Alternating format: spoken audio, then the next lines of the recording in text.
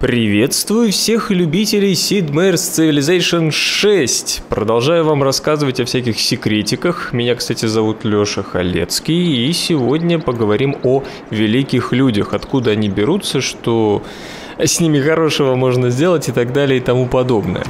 Э, ну, во-первых, поменялась немного механика, что мне не очень нравится. Сейчас в шестой цивилизации очки великих людей, ну, уточню, что чтобы получить великого человека определенного типа, вам нужно набрать какое-то количество очков. Э, какое именно количество, чуть позже скажу, э, но вот это набирание очков идет только от районов и некоторых чудес. Ну, там тоже есть определенные, еще и от великих людей некоторых, от особенностей цивилизации, но это очень частные случаи.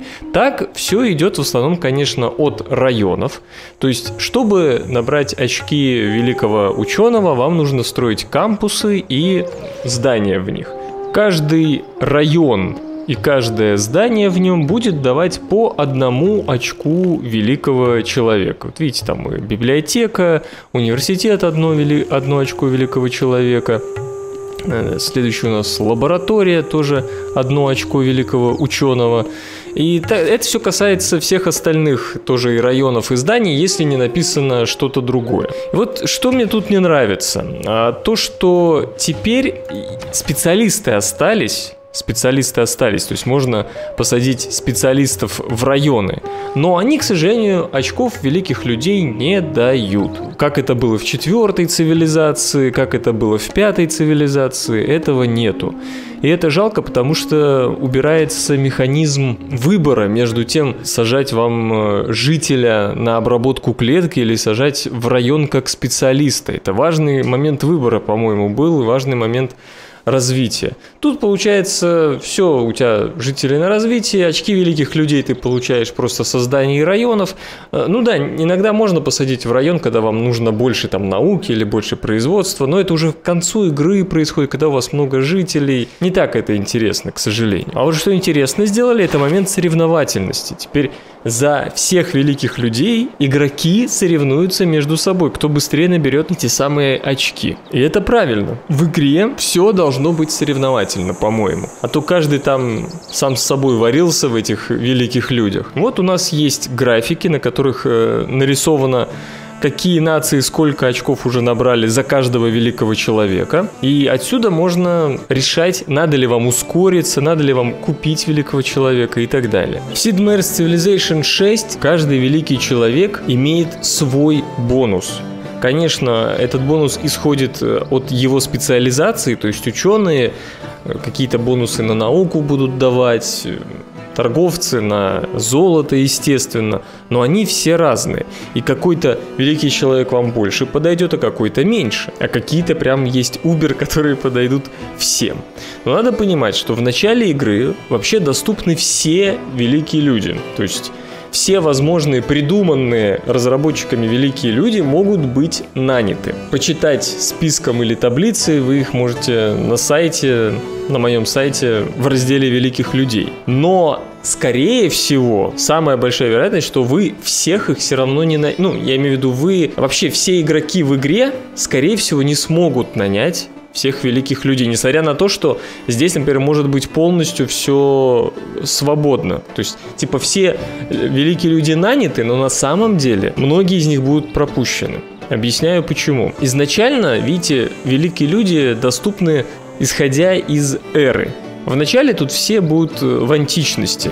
Великие люди из античности, не, не считая, правда, только вот э, великого художника, великого музыканта и великого инженера по-моему. Просто потому что, ну, вы не можете великого инженера нанять раньше средневековья, потому что вы открываете, собственно, возможность строительства промышленной зоны, то есть того района, который будет генерировать очки великого инженера, только в средневековье. То же самое касается художника, потому что у вас открывается археологический музей, где вот возрождение, да. И то же самое касается музыканта, потому что изначально куда сажать музыкантов тоже не сразу появляется. А так все начинают с античности.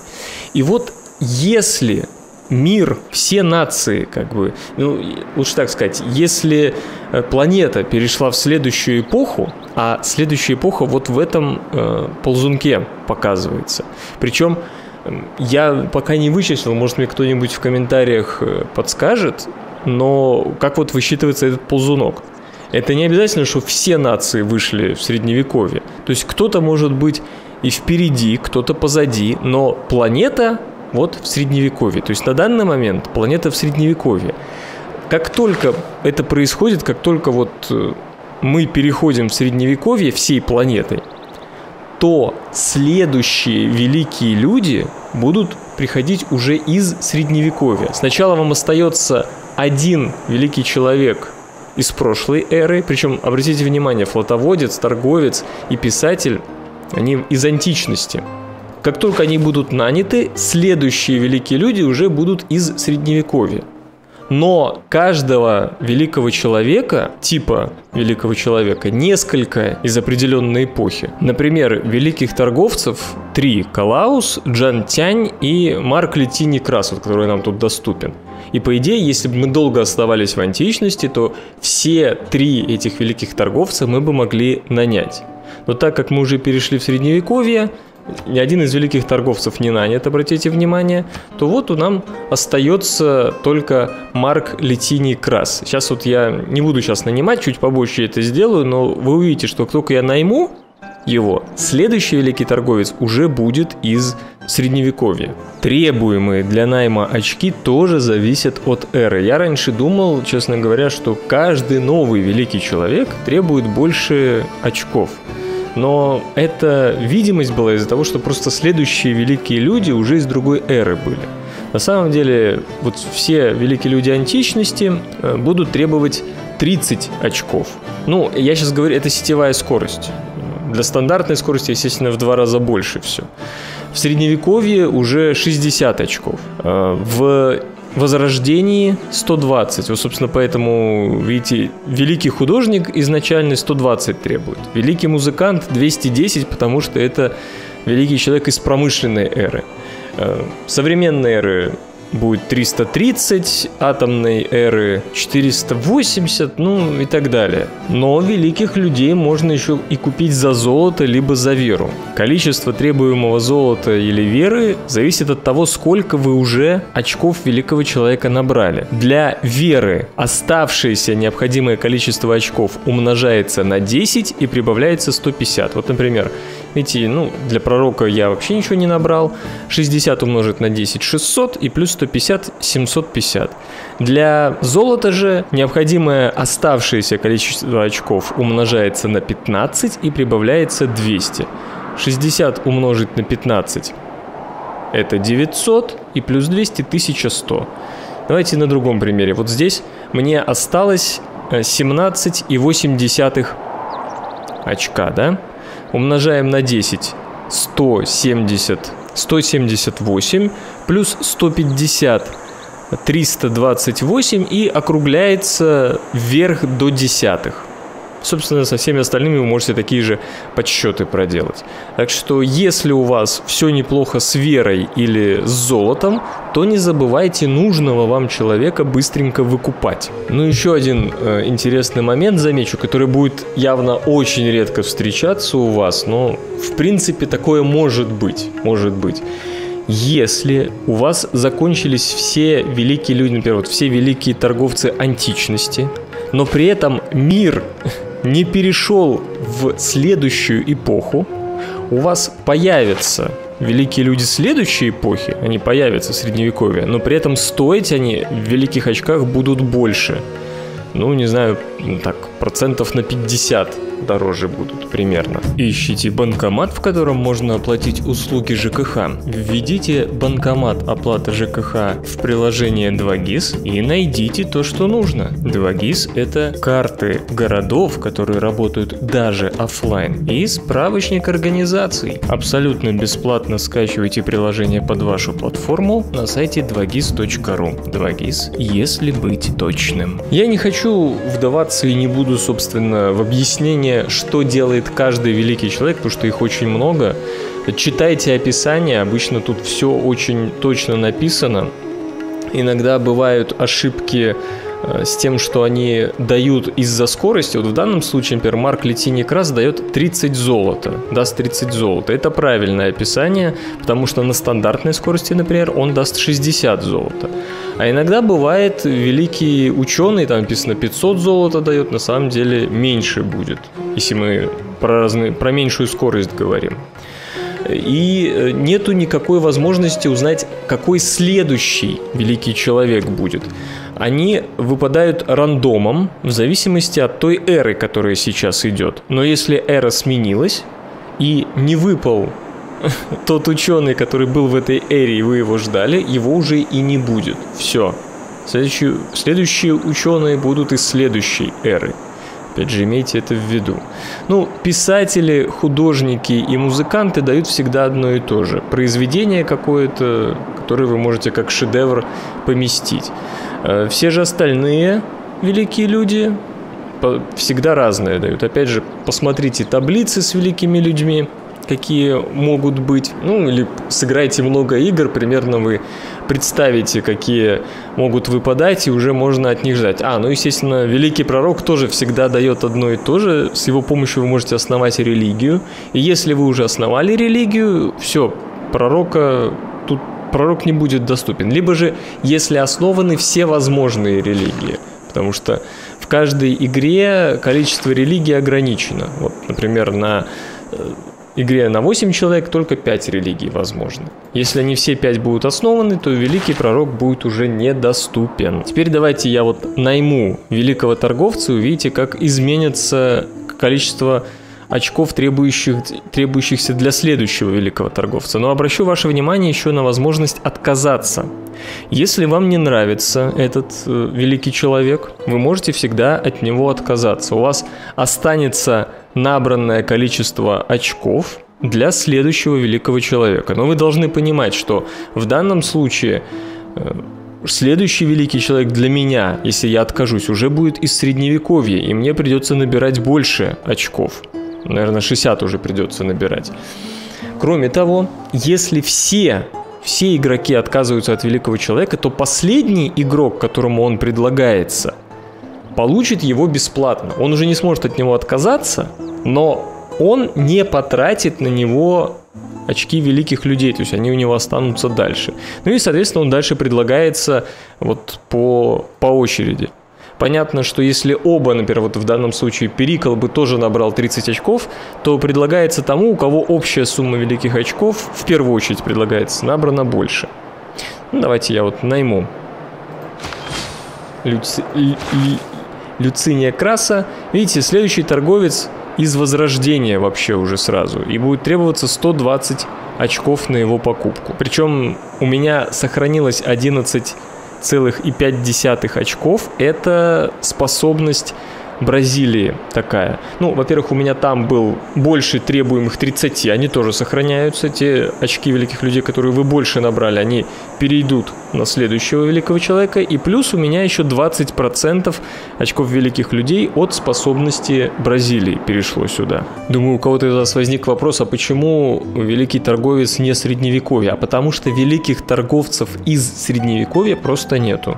То есть нам сразу предлагают великих торговцев из Возрождения. Еще уточню одну интересную деталь про великих людей. Э, они бессмертны. Вы можете использовать великих людей для исследования территории совершенно спокойно. На них могут нападать, да, но при этом они будут возвращаться просто в ближайший ваш город. Они не умирают. В отличие от того, что было в пятой циве, например, да и в четвертой тоже. Тут великих людей можете бегать ими, носиться. Даже генералов это касается. То есть генералов теперь нельзя захватить, убить, чтобы у соперника потерял способность вас атаковать лучше. Все касается, то же самое касается всех великих людей, несмотря на то, что у них тут здоровье написано. Но здоровье, наверное, касается все-таки ядерного оружия. Вот если вы скинете ядерную ракету, то все юниты поумирают. Да, это так и есть. А вот просто бегать по карте, совершенно не опасаясь того, что его убьют, то есть можете к сопернику там забегать на его территорию. Ну, если у вас война, конечно, идет, если у вас закрытые границы, вы не сможете забежать. Совершенно спокойно можете этим заниматься. Ну и последняя важная деталь, которая касается не только ускорения получения великих людей, но и вообще ускорения собственного развития, это проекты. Если вы построили определенный район, вы можете создавать в нем проекты. В промышленной зоне логистика промышленной зоны, в кампусе исследовательские гранты, в коммерческом районе инвестиции в центр коммерции и через определенное количество ходов, ну, на самом деле это зависит от того, сколько вам производства надо потратить на этот проект, вы, во-первых, получаете очки великого человека, зависящего от этого района, а во-вторых, генерируется ресурс, к которому относится этот район. Это вообще, ну, по-моему, офигенная задумка в плане замены. Вот помните, что в пятой, ну что в прошлых цивах был просто такой типа, вы заменяете производство на какой-то там, на науку, на генерирование науки, на генерирование золота. Так вот, э, раньше, так знаете, так было немножко жалко. То есть вы просто Э, одно меняете на другое с не очень качественным курсом, там, не знаю, 10%, 15%. Здесь же к этому еще и добавили возможность получения великих людей. И это становится более осмысленной стратегией играть э, через проекты, когда вам не надо ничего строить. Ну, сразу скажу, что механизм замены производства на науку, на золото остался примерно тем же. То есть, когда вы, вот я, например, запущу исследовательский проект, я получаю 15% э, той продукции в виде науки. Той продукции, которую я трачу на исследовательский проект, э, в виде науки. Причем самое интересное, что вот в шестой циве, потому что в прошлых я такого не помню, оно конкретно начинает добавляться к вашему плюсу вот здесь. Поэтому, если вы видите у соперника, ну, там, заходите в всемирный рейтинг, это касается, конечно, когда вы с живыми людьми играете, потому что у компьютера тут всегда читерство происходит в этих показателях. Если вы заходите и видите, что у него в науке тут какие-то нереальные цифры, хотя вы знаете сколько у него кампусов построено, сколько у него должно быть науки, это значит, что он запустил эти самые проекты. Он запустил у себя исследовательские гранты, например. Ну, то же самое касается культуры. Э, Причем самое интересное еще не обратил ваше внимание у великих людей при наведении на графике вам показывается, сколько конкретно очков великих людей сейчас набирается у каждой нации, даже у тех, которые вам неизвестны. И таким образом, вот зная то, что, например, э, один кампус дает одно очко великого человека, вы понимаете, что у Перикла либо два кампуса, либо один кампус и библиотека.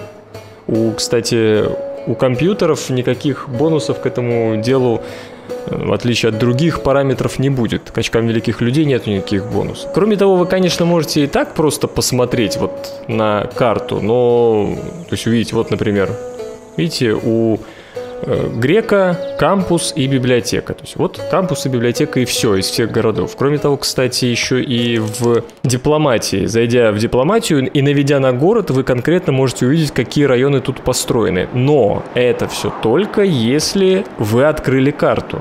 Вам видно на карте, что тут стоит. Если же вы не видите города, то есть вот я, например, вот этот город не вижу, и, соответственно, у меня никакой информации по нему нету, то Великие люди – это прекрасный способ узнать эту информацию. Наведя на график, вы видите, сколько здесь э, очков великих людей добавляется. Исходя из этого, вы понимаете, что у игроков построено. А вот обратите внимание, у Ганди 1,2 очка великого человека.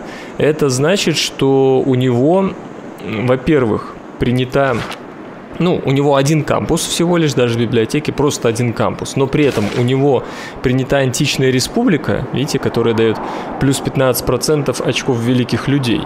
А, ну и все, собственно. Принята античная республика. Этого достаточно, чтобы одну и, дву, и две десятых получать сверху. Но вернусь э, к проектам. Во-первых, стоимость самих проектов постоянно изменяется. И зависимость там примерно такая же, как и у районов. То есть, чем больше у вас открыты технологий и цивиков, тем дороже будет проведение проектов. Я не буду вдаваться в, формулы конкретные, опять же. Просто знайте, что, они, что оно увеличивается, эта стоимость. Также при этом увеличивается и количество очков великих людей, которые вы в итоге получите, закончив один из проектов. И это количество очков великих людей тоже зависит от того, сколько у вас технологий цивиков открыто. И я еще немножко отвлекся, не договорил, э, сколько продукции, не продукция, а как конвертируется продукция в другие ресурсы. Как я сказал, кампус даст 15% науки от того количества молотков, которые вы потратите на этот грант. То же самое касается проекты в индустриальной зоне, гавани и военном лагере дадут 15% золота от производства. Э, в театре 15% культуры, в священном месте 15% веры, а вот коммерческий район даст 30% золота от производства. Имейте в виду, именно вот коммерческий район почему-то увеличено, увеличен выхлоп золота. Кроме того, есть ну, специальные районы у некоторых наций. Например, вот я играю за Бразилию, карнавал можно тут проводить в районе под названием Карнавал.